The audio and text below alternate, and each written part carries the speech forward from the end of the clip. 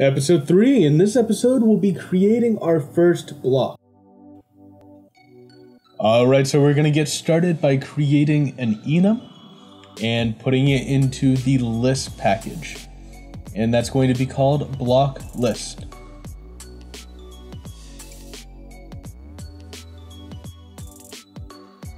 And then we're going to put a semicolon to end it.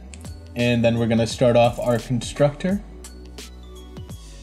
And it's going to be a block list with a parameter block with type block. And we're going to create private fields for block and properties. And make sure to import block from minecraft.net and properties from uh, block.properties. Then you're going to set block equal to block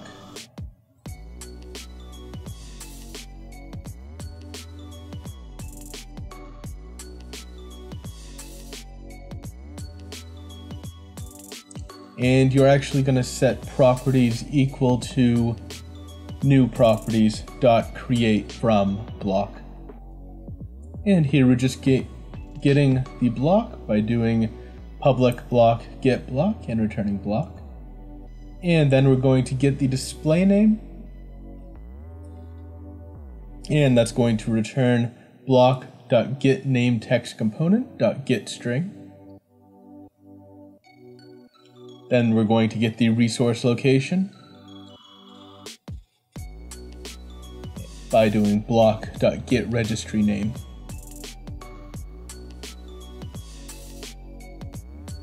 Then we're going to return the properties. So we're going to do get properties and then return properties.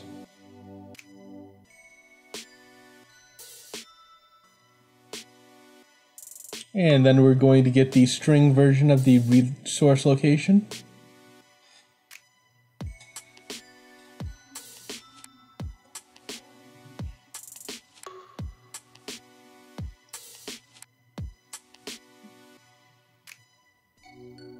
And we're just going to put it up there for organization.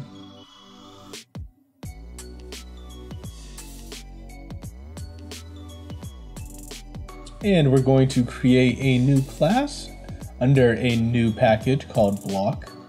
And this is going to be called block base. And this will extend block.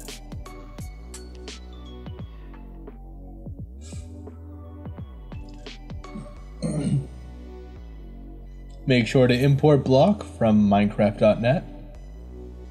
And we're going to start the constructor and it is going to have a string and a property.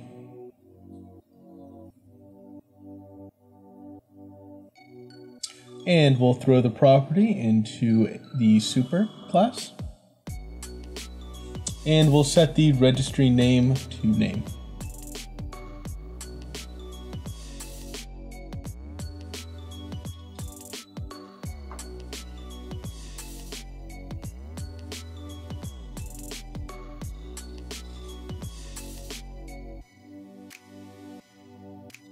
And then we're going to do a public static void register block.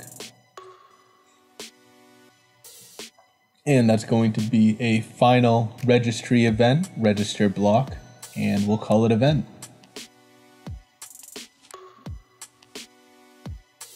And make sure to put the subscribe event above the method, so it will be called. I forgot to do it here, but I came back and did it later. And we'll make a for each loop for block list value. And we'll sort through the block list values. The same that we did for the item list. And then we'll do value.getBlock.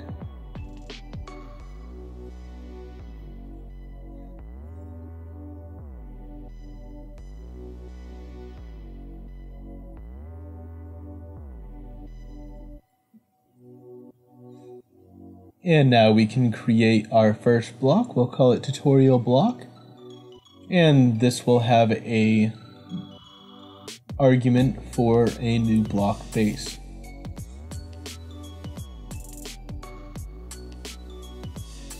And here I'm just realizing my error and fixing it.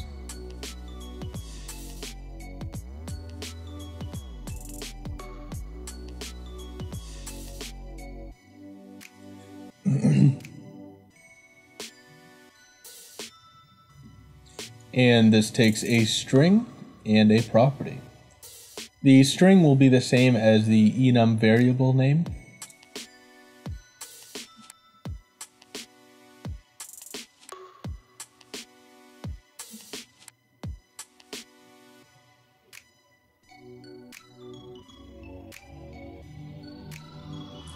And the property will be a little different than it was for item.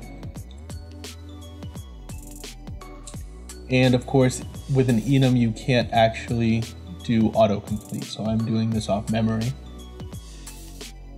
We'll create it of uh, material type iron. That's if you wanted a metal-like material. And we'll set the harvest level to 1, which would be a stone. Harvest level 0 would be wood. And we'll set the tool to pickaxe. And we'll set the hardness and resistance to 3 float. And you can see um, all of the different variables you can put there by just control clicking on one of them and it'll tell you all of them. And to see what the other Minecraft blocks have, you can uh, just create a variable right there and control click on it to see its default. So an iron block has a hardness of 5 and a resistance of 6. I just set mine to 1 for both. Resistance is how much it has for blasts, like uh, explosions, and the hardness is from player interaction.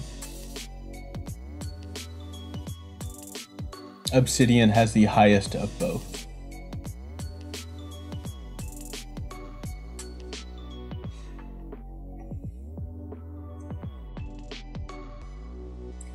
Now we're going to create a new package called block state.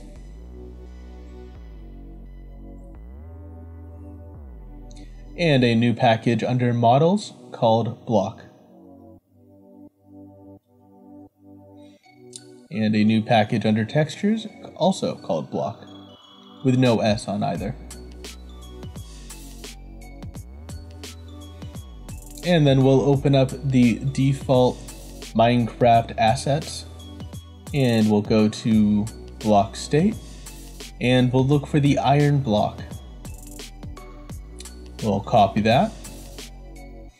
And then we'll create a new file with the variable name .json. And we'll paste that in there and change it appropriately. So we'll grab the mod ID and the variable name. Mod ID colon block forward slash variable name.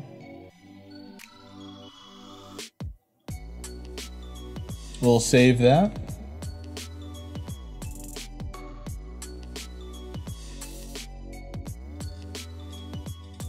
And here we'll create a new class for the block item and it'll be under the item package.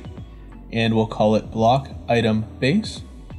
And for the superclass, we will put it as block item.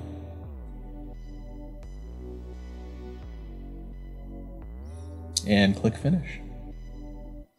Now we'll create our constructor. It'll have a block as its parameter.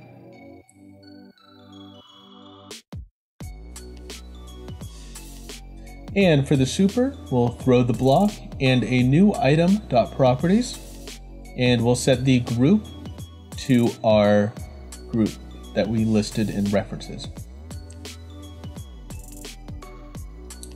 The block item is the version of the block that is in your inventory. So it's the item version of it. In the regular block is only the one that is on the ground. So we'll set registry name to the block.getRegistryName.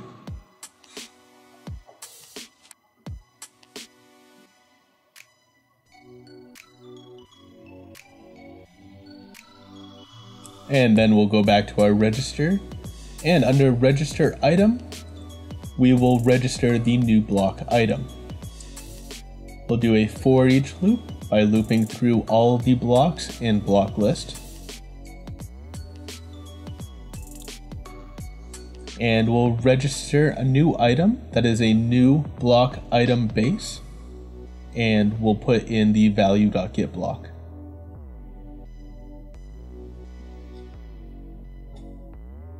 And here I'm just putting in comments.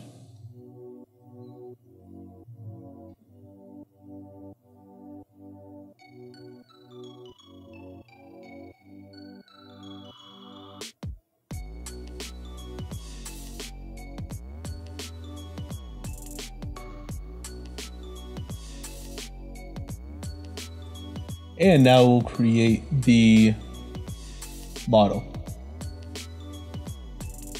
So go back to the assets, under models and block, look up the iron block, copy it.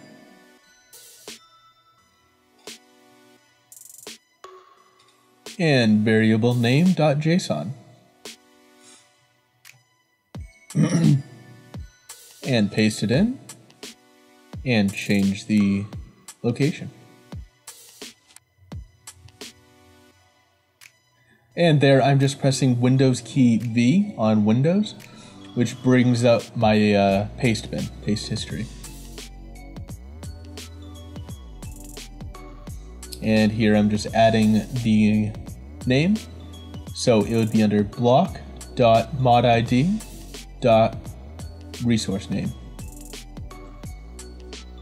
And we'll just call it tutorial block.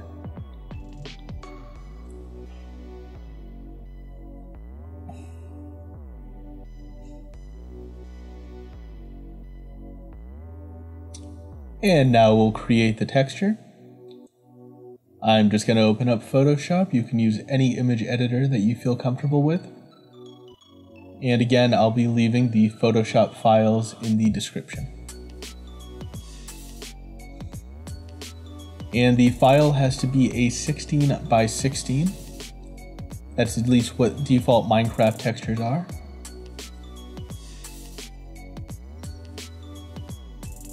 and we'll try to make it the same color as the ingot.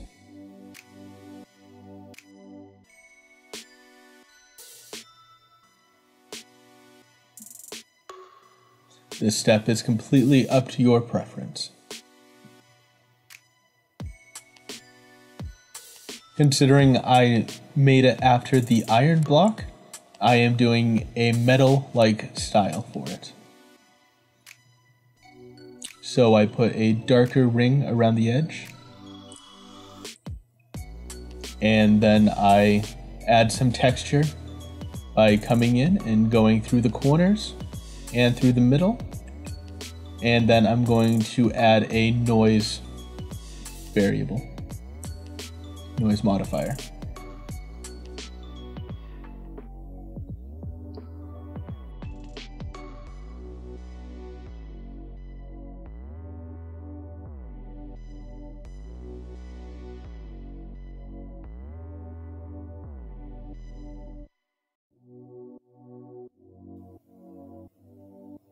and I just set the noise to 2.5 and put it under a smart filter.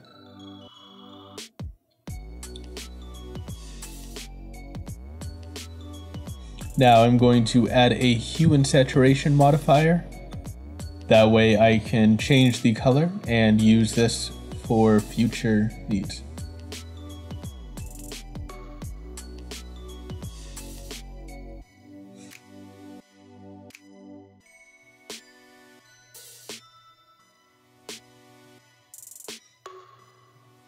And again, we'll just try and find that same color. I could, of course, open up the uh, uh ingot file that I used and use the exact same numbers. But I'm just going to eyeball it.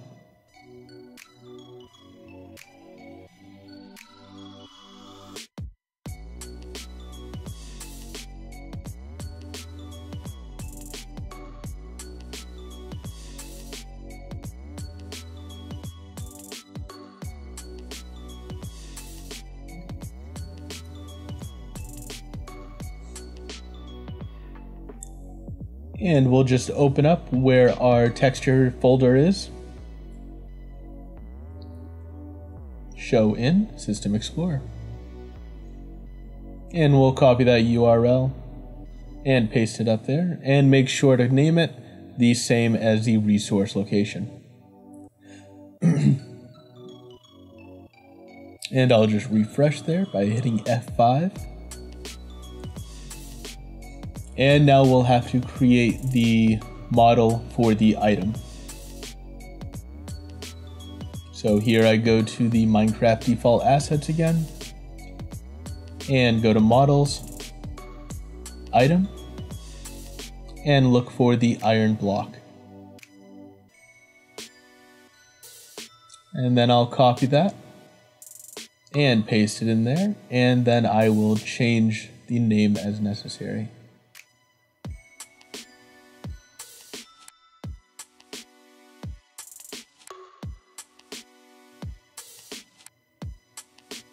And there I did forget to change the name, but I did so behind the scenes. I fix it later. And here I'm adding that subscribe event that I forgot to earlier.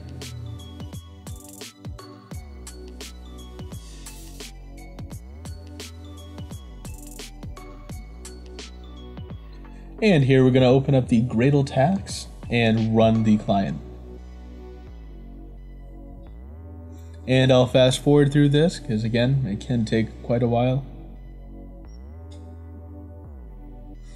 to make this run a little bit faster, you could generate the Eclipse runs. The only problem with that is it won't build the solution every time you run, which can cause some issues.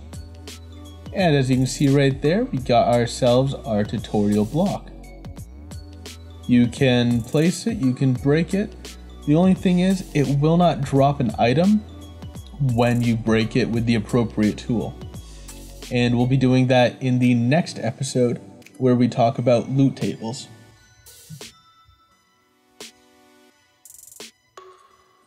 Anyway, I hope you enjoyed this episode. That is going to do it.